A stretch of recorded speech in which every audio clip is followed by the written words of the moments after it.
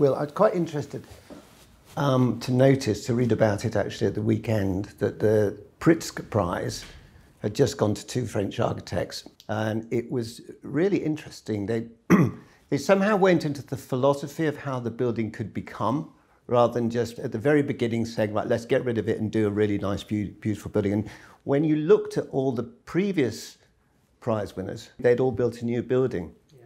Do you think this is going to start to happen more? Absolutely. It's fantastic, isn't it? I mean, this is architecture's highest prize being awarded for saving a building that already exists and turning it into something even more beautiful than you had already, which, which is exactly where we're going to be going. So for those of us who are lucky enough to live in the 20, 30% of the world, the sort of the rich part of the world, where we're surrounded by these buildings that, you know, exist and perform perfectly well, but maybe need, you know, a new lease of life, maybe they need some recladding, maybe they need new insulation, so on and so forth.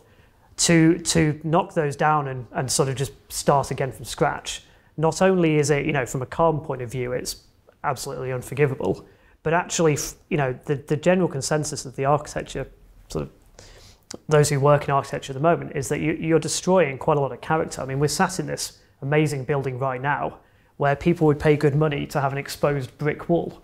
But where better to get that from than a building that's already got an exposed brick wall inside it?